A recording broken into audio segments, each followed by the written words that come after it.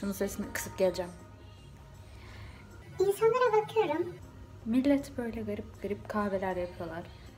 Hiç sevmiyorum mutfak işlerini yapmayı. Oldu bence bu. Yeter diye düşünüyorum. Emin değilim oldu mu? Kapandı. Beceriksizim bu kadar ya. Acaba yemek yaptığım bir video mu çeksem? Yapamadığım diyecektim. Yemek yapamadığım bir video mu çeksem? Evde yemek yaparken köyü yaktı.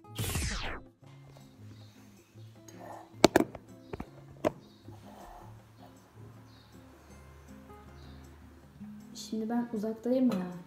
Ya da siz uzaktasınız. Kendimi çok garip hissediyorum.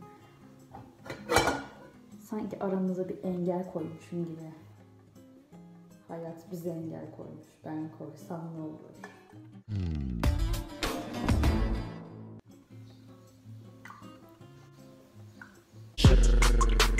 su sesi Dilo dilo otur sawa Bir günde düzgün bir video çektim ama yok. Kadrajdan çıkmamam gerekiyor.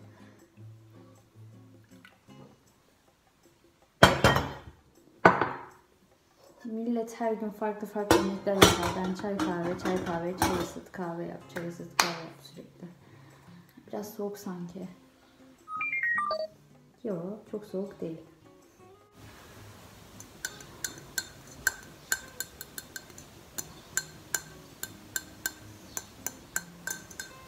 Böyle bir alışkanlık geliştirdim. Sürekli böyle yapma isteğime engel olamıyorum.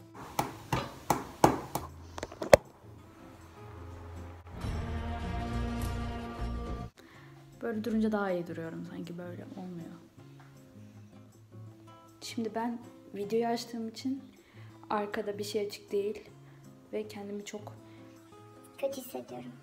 çünkü ses yok ortamda ve kuş sesi ve araba sesi duyabiliyorum sadece. En azından bir ses olsun, bir yaşam belirtisi.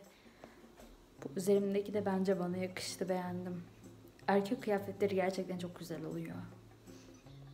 Sanki böyle yeni taşınmışım boş ev gibi. Masa var, mutfak dolabı var, buzdolabı var, bulaşık makinesi, Makineyi kız. Sanki bütün mutfaklarda aynı şeyler yokmuş gibi bir de sayıyorum. Allah'ım ya. Neyse. Karanlıkta ne göreceksem. Altını yakmış mıydım ben bunun? Bu değil.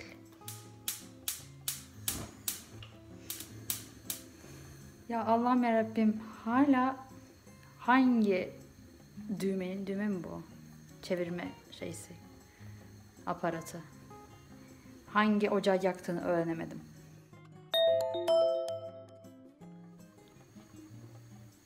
Beş saattir yanıyor ama hala kaynamadı. Ne anladım ki ben bu işten? Ne anladın ne anladın?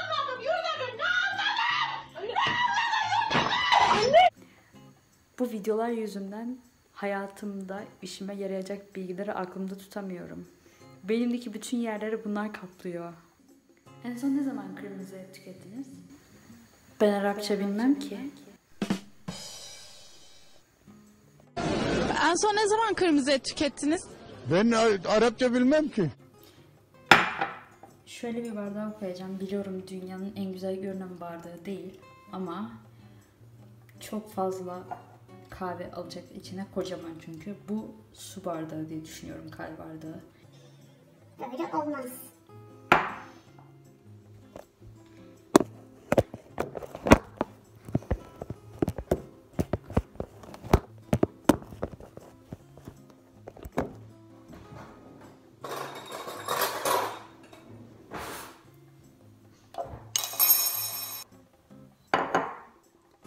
Bugün ne hikmetse size mukayyet olamıyorum.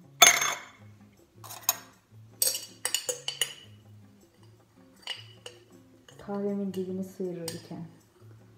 Yok ki bunun içinde. Neyse.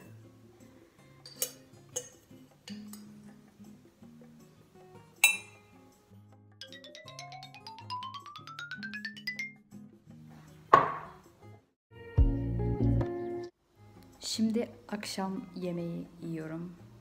Akşamüstü yemeği. Akşam yemeği yiyorum diyorum. Arkadan ışık geliyor ve ışık ters.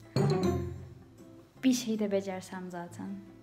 Saçlarım iyi değil mi? Benim saçlarımda bir tane kat var. Boyalı hatta. Oraları böyle çıkarsaydım, böyle dursaydı belki daha iyi olurdu. Böyle birazcık daha İlkokul birinci sınıf çocuğu. gibi görünmezdim en azından. Bu arada akşam yemeği yemeyi sevmiyorum. Akşamüstü yemeği yiyorum. Saat şu anda 6'ya yaklaşık. Mutfak dolabının kapağı açık. Eskiden şeydi böyle dolapların kapakları tak tak kapanırdı. Şimdi hafif böyle yavaş yavaş kapanıyor. Biz geldiğimizde buzdolabı mı vardı? Biz yaptık biz. Yemek yiyeceğim için artık kapatıyorum. Neyse bugün de ters ışıkta çekeceğim. Dışarıdan ses geliyor. Millet arabada, sokakta.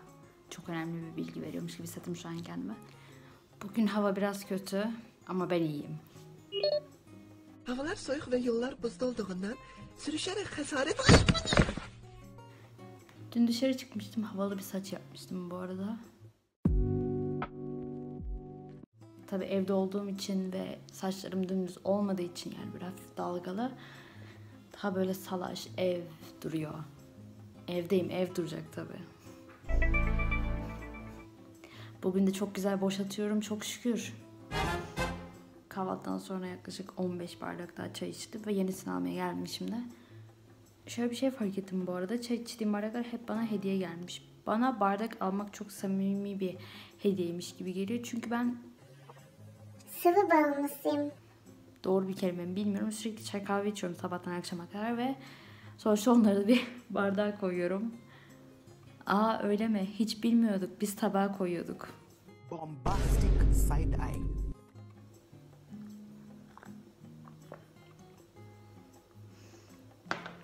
Yarasın bana afiyet bal olsun. Çok şükür ya Rabbi. Bu arada bana bir şey oldu. De bayıl istiyorsan Feriha. Bir şey oldu derken bir hastalandım mı anlayamadım. Doktor değilim ki bilmiyorum. Dön şimdi bana L4, doğru. L5, L5, S1 arızalı. Daha bismillah kadıncağız. 10 saniye. Arızalı ablam L4, L5, L5, S1 hemen MR'ını çektirip getirebilirsiniz. Uzun süre evden çıkmayınca bana bir şey oluyor genelde. Böyle bir hastalık çıkarıyor vücudum. Rahat mı batıyor? Bina mı dokunuyor? Yemek mi sanki yemek dokundu der gibi bina dokundu. Bina mı dokunuyor artık ne oluyor ben de bilmiyorum. Ne zaman ki uzun süre evde kalıyorum. Vücudum böyle yepis yeni bir hastalıklı geliveriyor. O yüzden çok evde durmayın, nefes alın. Meditasyon dersleri vermeye başlayacağım artık. Ben çok iyi yapacağımı düşünüyorum. Bu işin prosu olduğum zaten bellidir. Allah'ım yarabbim zaten pandemide ben o kadar çok çektim ki sürekli her hafta yeni bir hastalıkla yüz yüze geliyordum. Hani bu hastalıkları geçirim, Covid olmayayım bari desem. Covid de oldum Allah'ımın izniyle. Çok da güzel oldum. Çok iyi de oldu, çok güzel iyi oldu tamam mı?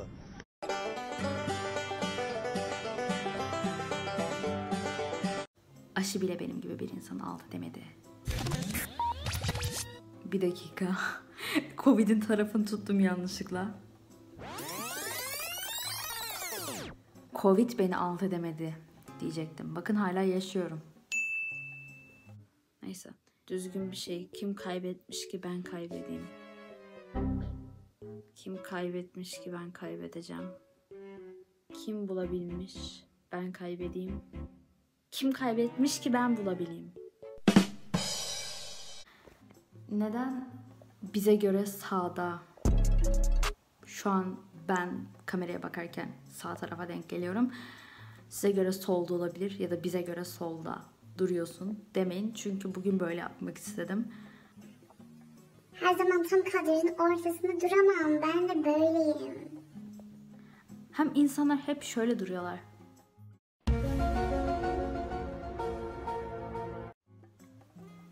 İnsanlar yüzünün yarısını gösterince sorun olmuyor da. Ben sağda ya da solda durdum diye mi sorun oluyor? Bu odanın, bu odanın mutfak oda olarak geçmiyor. Mutfak olarak geçiyor. Ama mutfak da teknik olarak bir oda. Çok büyük bir sorunu var. İnternet yok. Kadir kıymet bilenim olmadığı için